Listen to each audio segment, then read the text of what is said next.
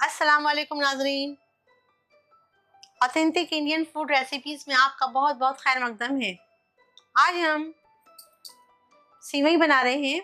ये है सूखी मीठी सीवैयाँ ये बहुत अच्छी बनती है, बहुत खुश जायका होती है और इसे आप जो है दो चार दिन तक रख के खा सकते हैं। और अगर मेहमान आने वाले हैं तो आप दो चार दिन पहले बना के भी रख सकते हैं। तो इसके लिए जिन अज्जा की ज़रूरत होगी, उसमें है ये सिवई ली है हमने, बारीक वाली सिवई ली है, मशीन की बनी हुई सिवई है। ये जो बाज़ार में पैकेट वाली मिलती है, वो 250 ग्राम है पाव किलो है। हमने लिए हैं ये ड्राई फ्रूट्स, वो अपने हिसाब से आप ले सकते हैं, ज़्यादा कम। ये काजू है, ये काजू को हमने काट लिया है, पिस्ते को काट लिया है, बादामों को टुकड़ों में काट लिया है और एक किशमिश है। ये आप कम ज़्यादा कर सकते हैं। आप चाहे तो नारियल, खोपरा और चारोली वगैरह भी ले सकते हैं। शक्कर है 200 hundred M L two gram. ये आप ज़्यादा कम कर सकते हैं। अगर मीठा ज़्यादा खाते हैं तो आप इससे ज़्यादा भी कर सकते हैं। और अगर नहीं तो इतनी भी काफ़ी है। बराबर बराबर भी ले सकते हैं। जितनी सिवई है, उतनी शक्कर भी आप ले सकते हैं। ये हमारे पास मावा है। ये मीठा वाला मावा है। ये हमने डेढ़ सौ ग्राम लिया है। ये साफरान की रेशे है, ज़ाफ़रान है। ये हमने लिया है थोड़ा सा खुशबू के लिए। और ये इलायची पाउडर है। इलायची के दाने हमने निकाल लिए थे। आठ दस इलायची है और उसके अंदर हमने शक्कर शक्कर के साथ उसे पीस लिया है। ये हमारा देसी घी है। हसब ज़रूरत हम इस्तेमाल करेंगे। अभी पहले हम सीवई को ये ये ड्राई फ्रूट को भूनने के लिए, तलने के लिए यूज़ करेंगे। उसके बाद में फिर सीवई को भूनने के लिए यूज़ करेंगे। इसके अलावा हमारे पास है, ये आधा लीटर फुल फैट दूध है। और इसे भी हम कैसे यूज़ करेंगे आपको दिखाते हैं।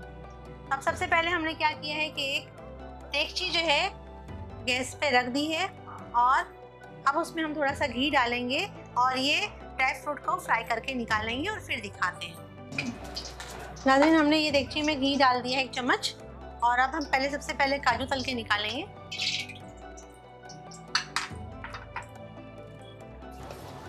धीमी आँच रखी हमने, जल जाएँगे ये। ज़्यादा फ्राई नहीं करना है।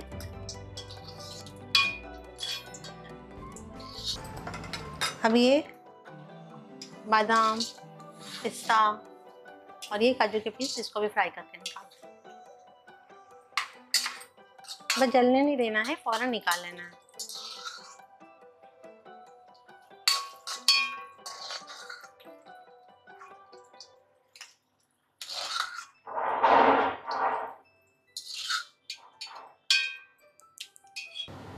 अब इसी में किशमिश भी डाल देते हैं। नाजिन, अभी ये हम घी में थोड़ा सा इलायची पाउडर डाल रहे हैं और ये भी सीमी डाल देंगे। और इसे हल्का ये रोस्टेड ही है, लेकिन इसको अच्छे से थोड़ा सा फ्राई कर लेना है, ताकि जो है ये, जब इसको घी लग जाता है तो ये चिपकती नहीं है और खुली खुली बनती है।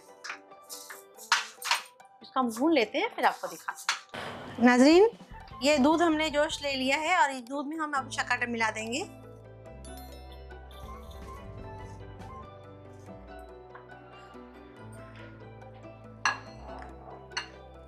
इसी में हम ये ज़ाफ़रान भी मिला देंगे। चम्मच से चलाएँगे इसे।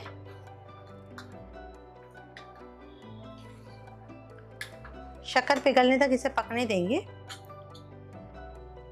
और ये मावा जो है, इसे हम थोड़ा सा गार्निशिंग के रख देते हैं और बाकी इसमें मिला दें सिवियाँ हमने भून के रखी हुई है।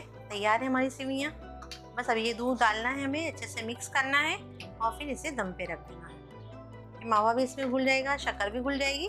इसके बाद में हम इस सिवई के ऊपर डालेंगे, अच्छे से मिक्स करेंगे, थोड़ा ड्राई फ्रूट मिलाएँगे और उसको दम पे रखेंगे और फिर बाद में दम पे होने के बाद में हम इलायची पाउडर इसमें मिलाएँगे।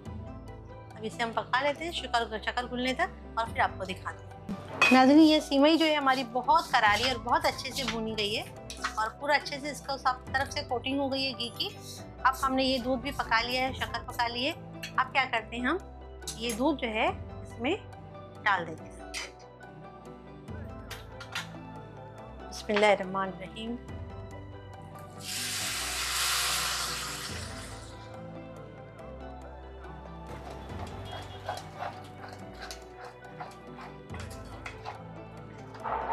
थोड़ी देर पकने देते हैं। ये जज्ब हो जाएगा। उसके बाद दिखाते हैं। नाजरीन?